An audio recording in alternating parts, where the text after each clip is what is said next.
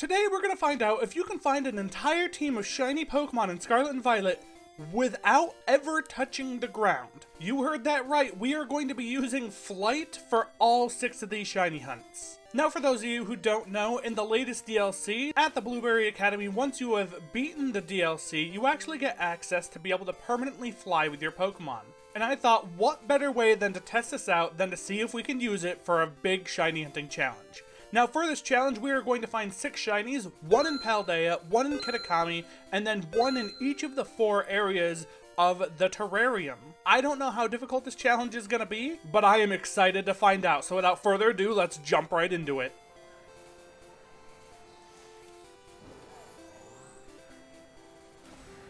Wait, wait, wait. That's definitely shiny. First shiny Finally, after like eight hours of flying around. Shiny Golduck. Holy wow, that took forever. Okay. Um... Into a Premier Ball, maybe? We have 93 of them. Well, that didn't work at all. After a while, I was actually thinking maybe it wasn't actually going to, uh, allow us to find a shiny wall in the air. There's the critical capture. Alright, there we go. One shiny down, five to go, and I think we're on our... We're gonna go to Kitakami next, I think. I think out of everything that we possibly could have found, I never would have thought we'd see a Golduck. Alright, and that is our first shiny out of the way. Paldea is done. This challenge has so far been a lot harder than I thought because the speed at which you fly does not allow you to see that many spawns. But now that we have Paldea out of the way, it's time for us to jump into the first part of the DLC, the land of Kitakami. What will we get here? I'm excited to see. There's a lot of cool Pokemon.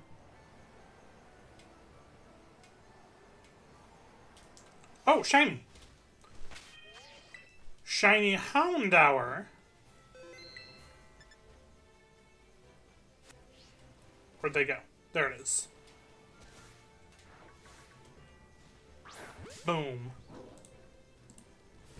See, that one only took about two hours to get. Which makes a lot more sense.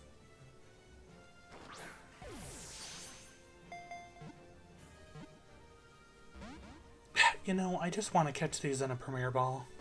Alright, come on. Critical capture, perfect.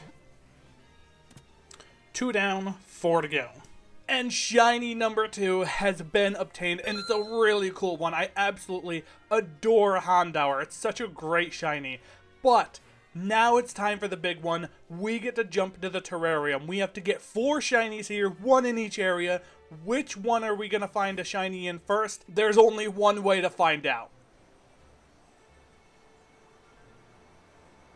Ah, finally, shiny. Oh, I thought I wasn't going to get it tonight. Oh, we only have like an hour left of this outbreak. But that's what doing it at full odds will get you. It's a good looking shiny though. It actually looks really good. Nice, didn't catch it on the first ball. It's also getting really late, so I'm a little quieter. Apologies, but Reuniclus caught. Nice, that's the ice area out of the way. Three down, three to go. Maybe I'll reset for another cool outbreak. And the polar area goes down with a Reuniclus. I did use an outbreak for this, but it is full odds because we can't land to take out any of the Pokemon, and that was really cool shiny. I love Reuniclus's cry. It is so unique and it reminds me of like 8-bit video games almost. But with the winter area out of the way, there's only three left. We are halfway through. So let's jump back at our Miraidon and get back in flight.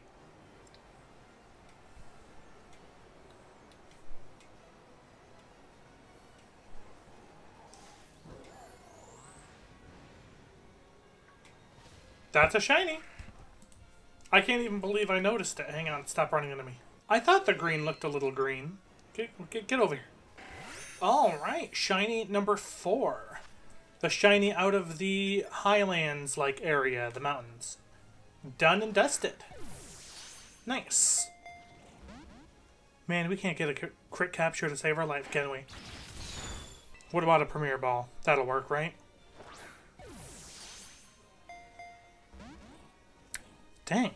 Do critical captures just not exist anymore? Ultra Balls should work. Eventually. There's the critical capture. Nice. I'm glad we got this one out of the way. It's been like the most annoying to get through because of how, how high up it is. Alright, we only have two more areas to go. The beach area and the savannah area. Alright, let's move on. And there goes the mountain area. The mountain area was probably the hardest area that I thought we were going to have, and I don't know how I spotted this shiny. I clearly couldn't see the pink. I was only able to see the green, and I thought I would miss a Scyther if we came across it, but it turns out we were able to see it just fine. Now we have four out of the six shinies we need. All we have left is the beach area, which has a lot of water, and then the savannah area, which is probably going to be the easier one of the two. So I think now it's time to jump into the beach area because I want to get the harder one out of the way.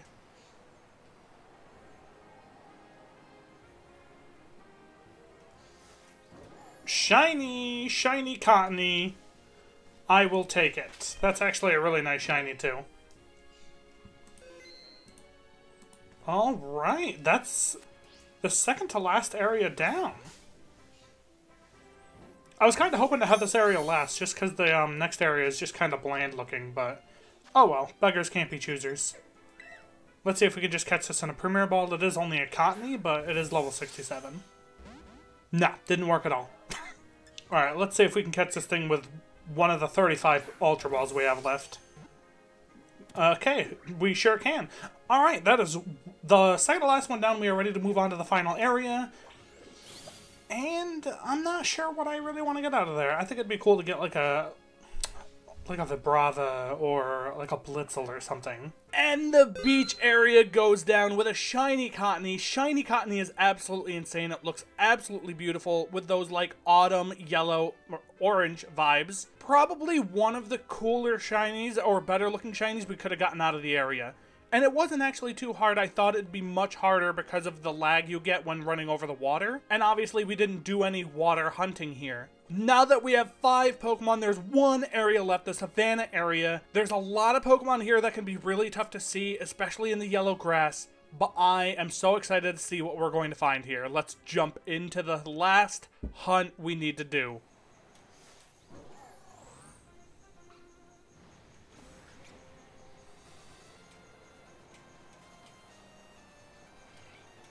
Wait, is that shiny already? That is. Shiny, um, Exeggcute. I meant to save the game.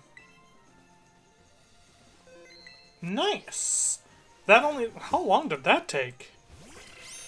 Oh, 40 minutes. Not bad. A pretty good looking shiny to end it off to. How easily are we going to catch it? Yeah, I didn't think so.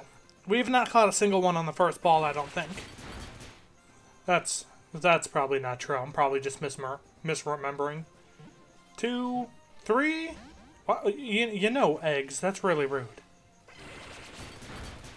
Ultra Ball work for me. There we go. Critical capture. Sweet. Alright, and that is all six shinies done.